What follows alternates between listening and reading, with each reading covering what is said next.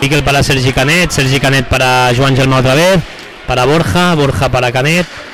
Intentarán buscar otra vez un 7, Canet busca el interior, Borja buscará para Miquel, Miquel dentro del área y gol de Miquel interior.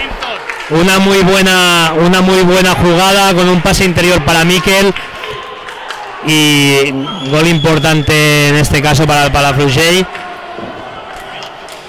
Su segundo gol de la temporada la semana. Si Aldric consigue hacer el marca el la para muy bien Dalmau. Dalmau, Aldric la recupera. Jugadores interiores intentando recibir bolas para el Taladey para girarse. Ahora Dani Rodríguez busca una cuchara. La desvía Sule y marca el primer gol del Taladey después de un muy buen disparo de, cuchara de Dani Rodríguez, uno de los peligros que sabemos que tiene este equipo. Y Sule muy bien dentro del área, desviándolas. Aunque toques la pelota con el patín, ahora esto ha cambiado. Así que hay que tener, hay que saber bien cómo va. Sí, sí, sí, eh, no ha movido el patín. Ahora se va a producir una expulsión de Caco. Caco, el árbitro interpreta que ha trabado al 8. Recordemos, 8 faltas de equipo. Saca la bola el Taradell, sale Dani Rodríguez, Dani Rodríguez amagado, se la ha buscado.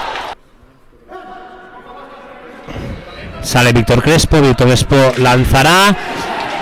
Y muy bien de pantalla Linu, parando bien la puntuar. Así que veremos Borja que nos, que nos hace hoy en esta directa. Inicia el lanzamiento.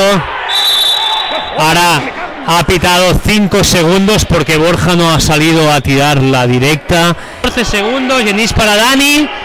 Yenis la cuelga directo, no, se equivoca. Y Aldrica portería vacía. Hace el gol que evidentemente condena al Taradell y hará que estos puntos se queden aquí en Palafrugell. 6 segundos para la finalización. Bien,